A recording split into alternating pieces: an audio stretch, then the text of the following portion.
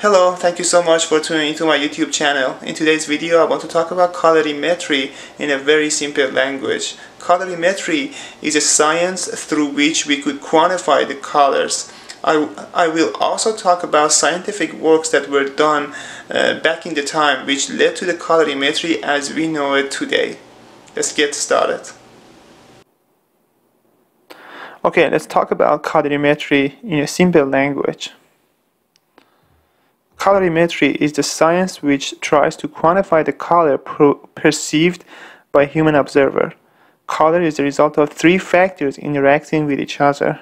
Those factors are light sources, which is represented by this sun here, objects, and human visual system. So the colorimetry science, in order to quantify the color, has made an attempt to quantify all these three factors. This system was first established in 1931 by the CIE, which stands for the International Commission on Illumination. Let's first start with light sources or illuminants. Light sources pr provide the electromagnetic energy required to excite visual response. The specification of the color properties of light sources is performed in two ways, through measurement and standardization. The difference between these two ways is better clarified with the definition of the light source versus illuminant. Light sources are the actual emitters of visible light, like incandescent light bulbs or sky or the fluorescent tubes. Illuminants are, on the other hand, standardized tables of values that represent a spectral power distribution typical of some uh, particular light source, such as CIE illuminant A, which is representative of tungsten light source, and D65, which is representative of average daylight, average daylight and F11, which is fluorescent TL84. Spectral power distribution is simply a plot or a table of a radiometric quantity as a function of wavelength, normalized to 1 at the wavelength of 560 nanometer. Spectral radiometers are used to measure the spectral power distribution of the light sources, which has been shown here. Just an example. And here are the spectral power distribution of D65, A, and F11 illuminants. So as you can see, this is an energy versus the amount of energy that's being emitted by the light source versus wavelength. Once light source or illuminant is specified, the next step is the characterization of the material interaction with visible radiant energy. The interaction of the radiant energy with materials obeys the law of conservation of energy. The radiant energy when hitting, the, when hitting an object can either be absorbed or reflected or transmitted. These quantities are usually measured in relative terms as percentages of the incident flux rather than an absolute radiometric quantity. Therefore, the reflectance can be defined as the ratio of the reflected energy to the incident energy. And the same is true of transmittance and absorbance.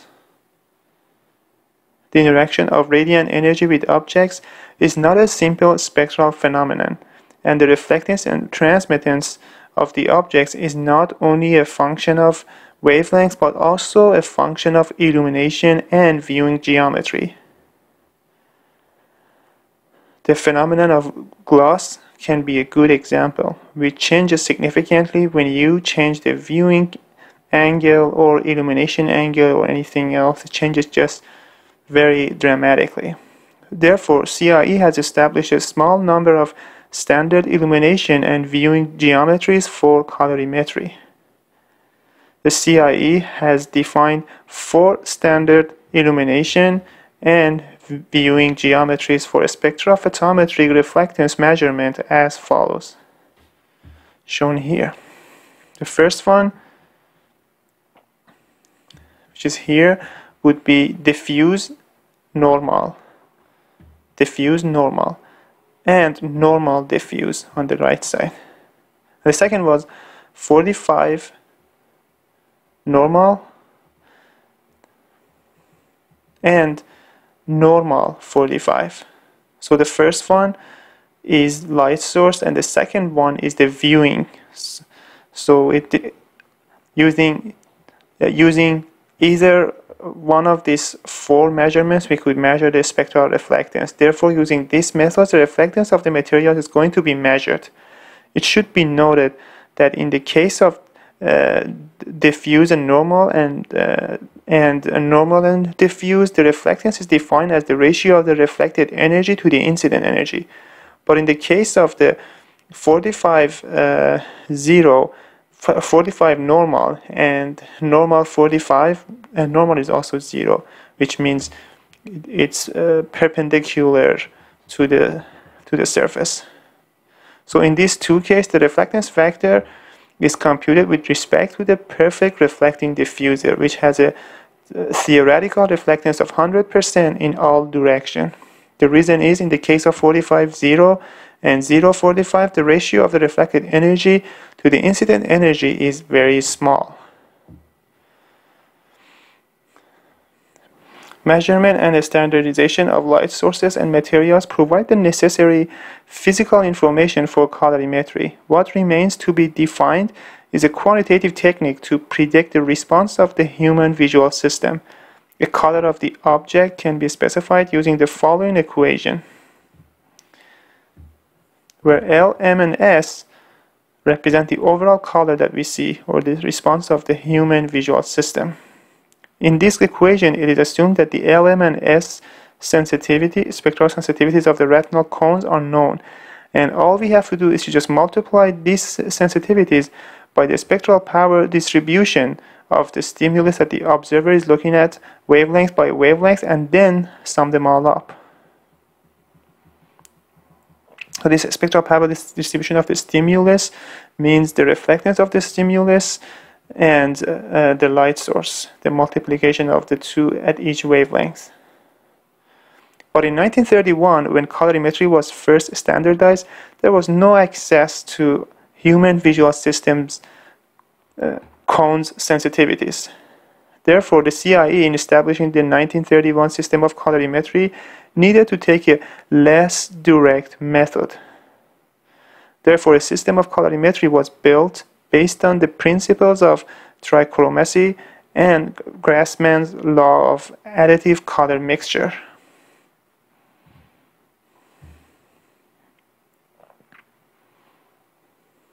The concept of this system is that color matches can be specified in terms of the amounts of three additive primaries required to visually match a stimulus. Grassmann's law of additive color mixtures.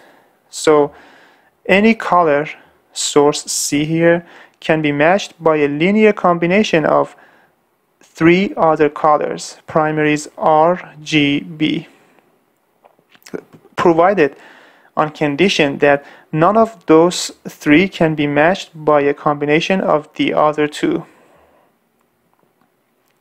This is fundamental to colorimetry and is Grassmann's first law of color mixture. So a color C can be matched by R sub C amount of red, G sub C amount of green, and B sub C units of or amounts of blue primaries. The units can be measured in any form that quantifies the light source, the light power. So this is the additivity law. Any light could be matched by uh, by specific by particular by particular amounts of the other three lights. Since any color can be matched by certain amounts of these three primaries, those amounts, in other words, those tristimulus values, along with the definition of the primary set, allow the specification of a color. If two stimuli can be matched, using the same amounts of primaries, they have the same tristimulus values.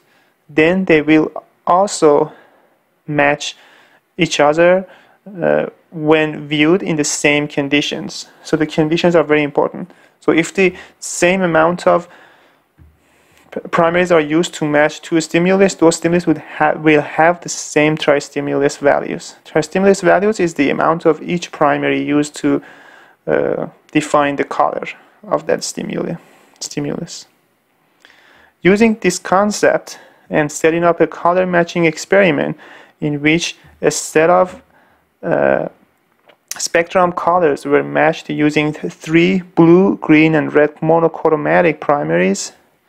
The first set of color matching functions, which are some sort of representative of the spectral sensitivities of human visual system, were obtained. These color matching functions, tristimulus values of the spectrum colors, they're also called tristimulus values of the spectrum colors, these guys. So these color matching functions show the amount of the primaries need to match the specific spectrum color at a specific wavelength. Here, uh, here are the color matching functions that uh, were obtained this way. R RGB primaries that were used. And using this color matching function, here is how the stimulus values for a particular stimulus is obtained using these guys. Where S and R are spectral, uh, this is the spectral power distribution of light source, and R is the reflectance, and RGB are these guys here, color matching functions. But as, as it can be seen, the red primary has some negative value, which makes it unrealistic. Therefore, a linear transform was derived to transform this set of primaries to one that has no negative value. CIE called this transformed set of primaries spectral tristimulus values of the CIE 1931 standard observer, or color matching functions of the CIE 1931 Standard Observer. They are shown here.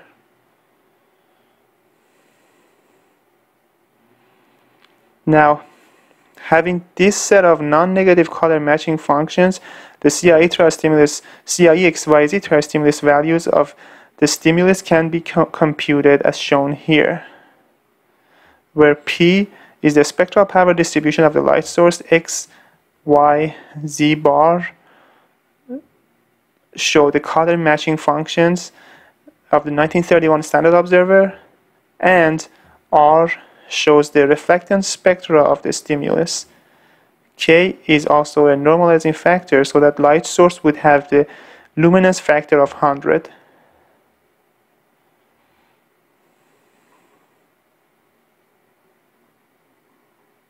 So these equations are the start of the colorimetry the way we know it nowadays.